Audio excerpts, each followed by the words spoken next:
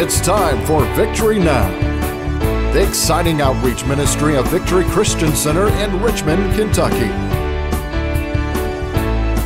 Join us now for a time of praise and worship and the study of God's Word with our pastor, Philip Holman.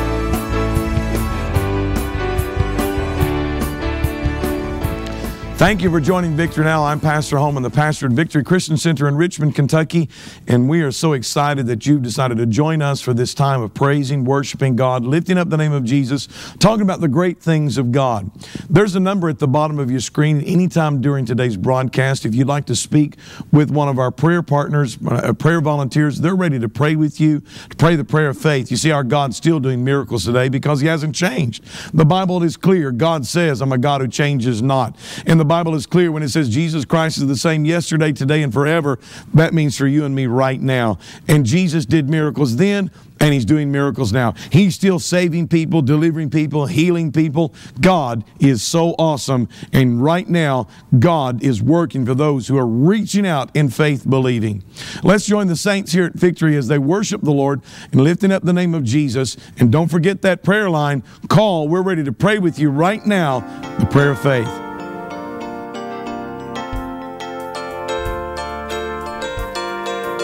Let's bring our hands together this morning.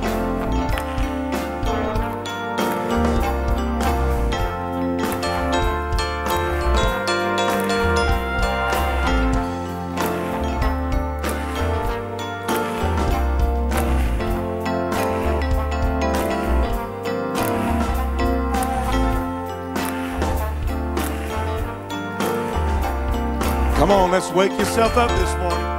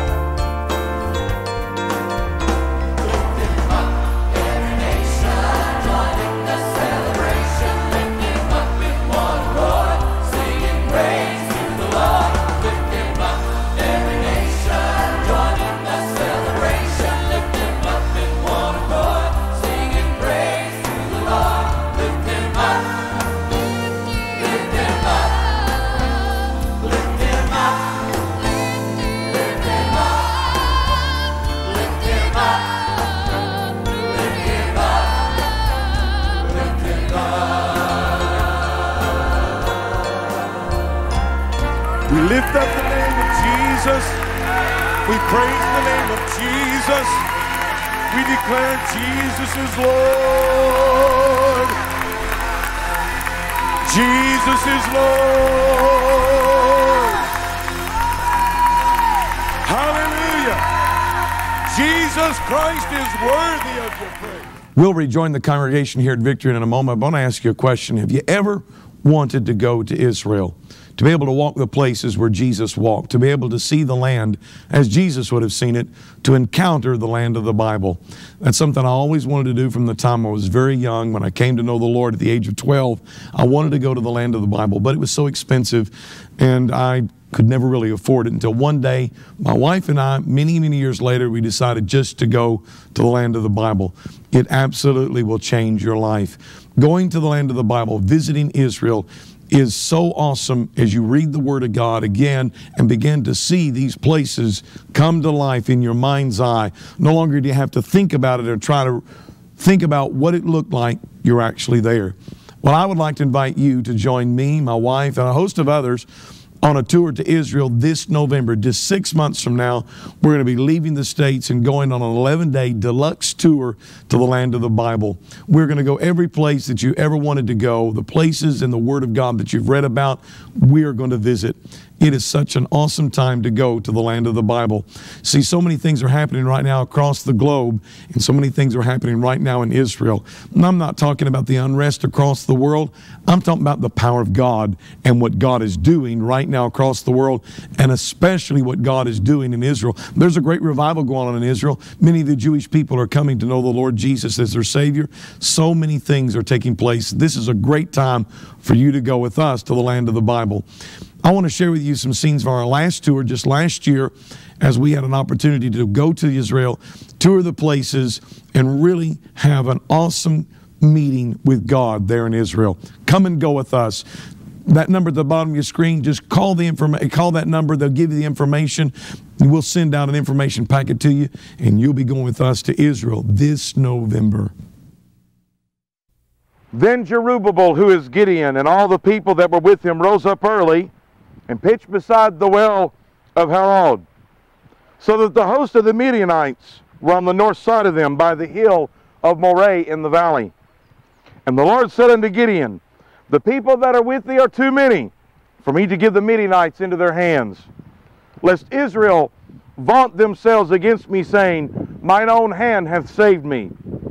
Now therefore go to proclaim in the ears of the people, saying, Whosoever is fearful, and afraid, let him return and depart early from Mount Gilead. And there returned to the people twenty and two thousand, and there remained ten thousand. And the Lord said unto Gideon, The people are yet too many. Bring them down to the water, and I will try them for thee there. And it shall be that of whom I say unto thee, This shall go with thee, the same shall go with thee. And whomsoever I say unto thee, this shall not go with thee, the same shall not go. So he brought down the people unto the water. And the Lord said unto Gideon, Every one that lappeth of the water with his tongue, as a dog lappeth, him shalt thou set by himself. Likewise, every one that boweth down upon his knees to drink. And the number of them that lapped, putting their hand to their mouth, was three hundred men. But all the rest of the people bowed down upon their knees to drink water. And the Lord said unto Gideon, By the three hundred men that lapped will I save you, and deliver the Midianites into thine hand, and all the other people go, every man unto his place. I'm standing here at Gideon Springs, the place where the men who were going to war against the Midianites were chosen by the Lord. Gideon starts out with 32,000, but God says that's not that's too many. Because people will begin to say that by our own hand we are able to do it. So tell everybody that's afraid to go in war for the king, war for the Lord, let them go home. And 22,000 were fearful, and they left the camp. 10,000 now against so many thousands of the Midianites. But the Lord tells Gideon again, no, there's too many. So bring them to the brook, and I'll choose who's going to war for me. And so we see these men coming down to this brook 10,000 men, 9,700 of them bend down both knees to get the water. 300 of them bend down on one knee and lap the water, pulling the water to their hands. And the Lord says, I'll choose those 300. Why? You can see what God was talking about. If a soldier got down on his knees to lap the water, he's taken his hand off his sword. He's exposed himself to the enemy. At that moment, he's more interested in seeing to his own need than the needs of the Lord. So he has to take off his equipment. He has to take off his sword to get down and take care of his own need. But 300. No, I'll put one hand on the sword and one hand in the water because I want to be ready. How dangerous it is for children of God to lay aside the sword of the Spirit, to lay aside the Word of God, to not keep themselves wise. The apostle said, We are not ignorant of the devices of the devil. We know the enemy is going to be up to something. But God made sure that He put armor on His children. Yes, we are clothed with the armor of God, the helmet of salvation, whereby that we may be able to cover our minds and keep the mind of Christ. We're covered with the breastplate of righteousness, covering the vital organs that we would not be hurt or harmed in any way by the words of the enemy that would come against us, covering our heart. Our hearts can only be for the Lord. Having our loins girt about with truth. Nothing but the word of God will come up out of my spirit. No false words, no evil words will come up out of my mouth, coming up out of my innermost being. Having my feet shod with the preparation of the gospel of peace. As the Roman soldiers of the day, as they would tie their sandals, they were studded like cleats so that they could be sure footed, climbing the mountains and being able to run the race. And taking up the, the, the shield, the shield of faith. It wasn't a small instrument, it was something that covered their entire body. Pick up that shield of faith and the sword of the Spirit, the word of the Lord. That sword, that word of the Lord, Jesus used it against the enemy in the wilderness. God's expecting you to use the power of the Word to destroy the devil. That same word that Jesus used, He puts it in you to be able to use against the power of darkness. The Word of God says, praying with all manner of supplication. You see, a true soldier of the Lord today is a man or a woman of intense prayer. They know that the warfare must be fought in prayer before it ever happens in the material. Here in this place where soldiers were chosen, they didn't know they were being chosen by the Lord. They didn't know that as they decided, I'm keeping my hand on my sword, I'm not going to lay it down, that God was saying, That's the man I can use. If he'll keep his hand on the sword, he's ready to fight for the kingdom. So, child of God, keep your hand on the sword. Don't lay it down. The devil's waiting for an advantage. He's waiting to take some sort of advantage over you. But with the sword of the Spirit and the helmet of salvation, with being fully clad with the armor of God, there is no way that the enemy will be able to advance against the child of God. So stay clothed in your armor. Be ready, because at a moment's notice you may be called to the war. Yes, the war on your knees, warring in the Spirit. There's a battle to be won. There are souls to be won. There is a harvest to gather in. Child of God, keep your armor on because the general is looking for recruits.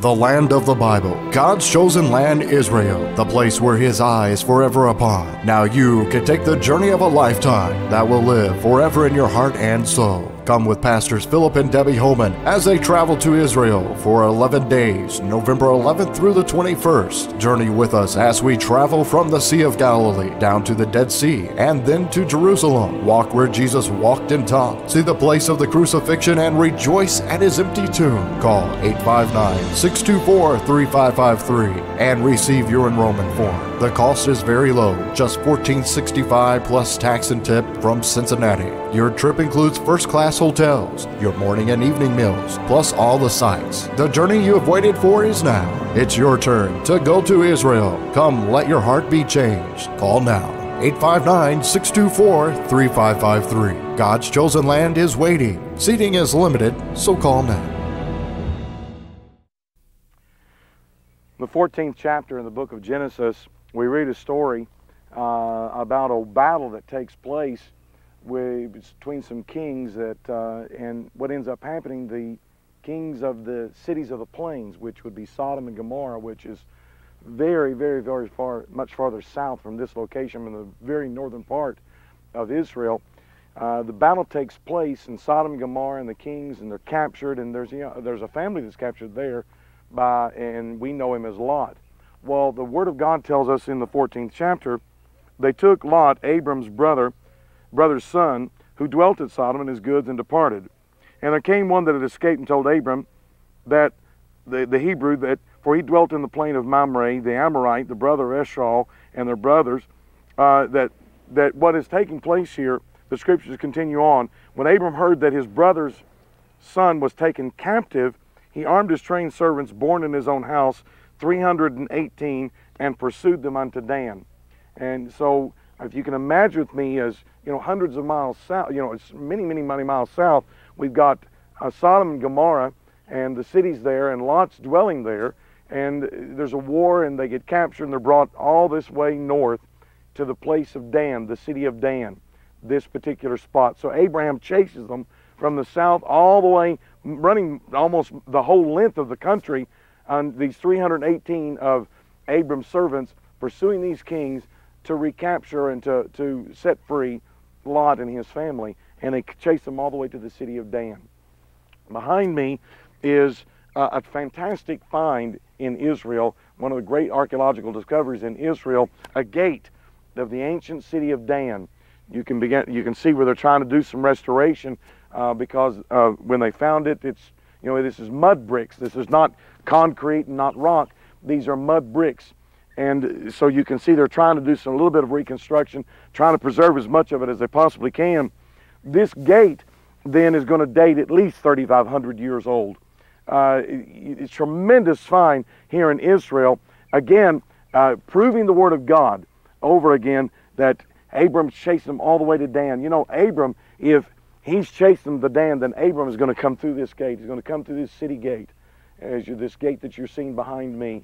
Uh, the, the, Abram, the, the, the Hebrew, the Word of God calls him the beginning of the Jewish family, all the way to this point in northern Israel. You know, it's amazing that when you walk the land of the Bible and uh, you, you begin to see these places, uh, it, brings the Bible alive to you. You, you, you know, you read things and we imagine by just reading the Bible what things look like or, or, or different things because, and we imagine from our, from our own understanding of things that we see around our homes and uh, things that we're accustomed to. But coming here to the land of Israel and here in this northern part of Israel, the, the border of Lebanon is just here to my left. You know, it's amazing how much of the Bible comes alive to you and you begin to understand the scriptures like you've never understood them before. It's an awesome thing to be able to come to Israel and you really ought to go sometime and, and come and see the places in, in Israel and the places where Jesus walked and where the patriarchs, Abraham himself, walking right through this gate so many centuries ago. the land of the Bible, God's chosen land, Israel, the place where His eye is forever upon. Now you can take the journey of a lifetime that will live forever in your heart and soul. Come with Pastors Philip and Debbie Holman as they travel to Israel for 11 days, November 11th through the 21st. Journey with us as we travel from the Sea of Galilee down to the Dead Sea and then to Jerusalem. Walk where Jesus walked and taught. See the place of the crucifixion and rejoice at his empty tomb. Call 859 624 3553 and receive your enrollment form. The cost is very low, just $14.65 plus tax and tip from Cincinnati. Your trip includes first class hotels, your morning and evening meals, plus all the sights. The journey you have waited for is now. It's your turn to go to Israel. Come, let your heart be changed. Call now. 859 624 3553. God's chosen land is waiting. Seating is limited, so call now. We're, going to sing this song that says, He's made me glad. I'm not talking about temporal things. Spit polishing that brand new car. No, no, no, no, no. And when I'm in my worst hurt, I'm just trying to talk to somebody this morning. I don't care if you look at me with your face or not. There's somebody here needs to receive this. When you are in your worst hurt, when you're in your worst pain, and then God just step in and cause a smile to come across your face, and your friends and family that look at you and think, "Y'all, you need to dope up on something." I mean, get you some get you something. I mean, get you something to dope your head up because you, you, you, you, you how are you surviving? You just put a smile across your face and say it'll be all right. I don't know the how, but I put my trust in Him. See, He makes me over. He fashions me glad in the middle of my pain.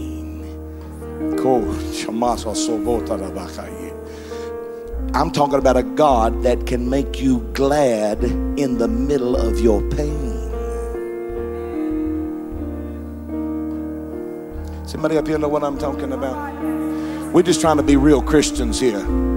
We want you to understand something. We, we're not sprouting wings and we're not floating off the ground. We're telling them that the Bible says the godly shall suffer, but God knows how to deliver the godly, you see. And He fashions us glad.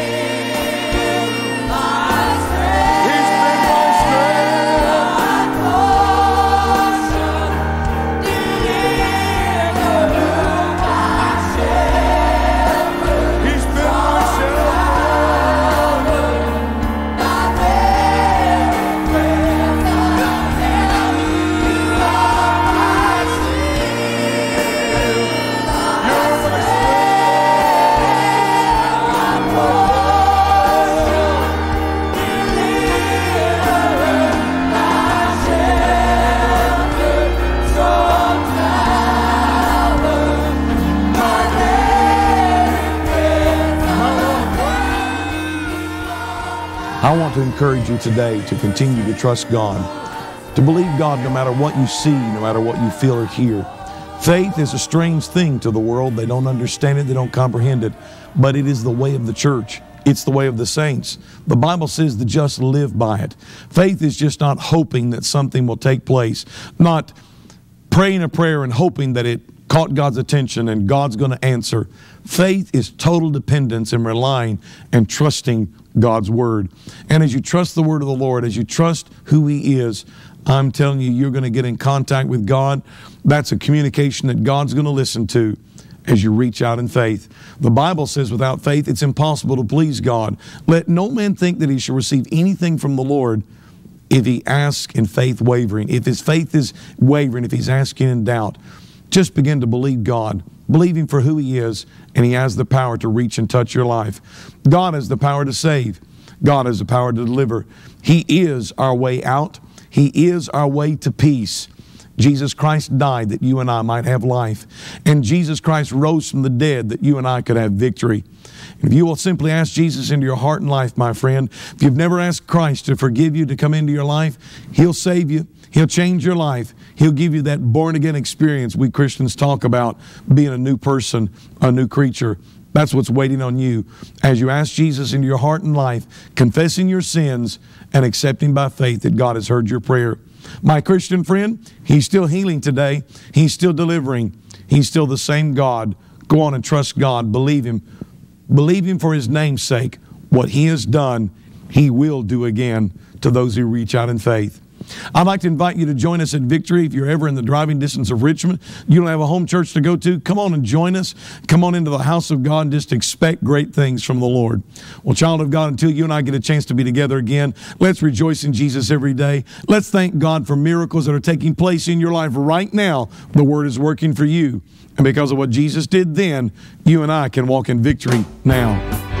Victory Now is brought to you by Victory Christian Center of Richmond, Kentucky, a ministry committed to reaching out to our community and across the world. We invite you to come and join us as we magnify the Lord Jesus with exciting praise and worship and the study of God's Word. Service times are Sundays at 10:30 a.m. and 6 p.m., Thursdays at 7 p.m. Victory Christian Center is located off of I-75 and exit 90, going away from town four tenths of a mile and turn left. To learn more about the ministries of Victory Christian Center, visit our website at www.victorynow.tv. You can also write to us at Victory Now, P.O. Box 2167, Richmond, Kentucky 40476, or email us at info at victorynow.tv. Our prayer is that you may know the revelation the Word of God teaches about the power that Jesus has given you to walk in victory now in every area of your life.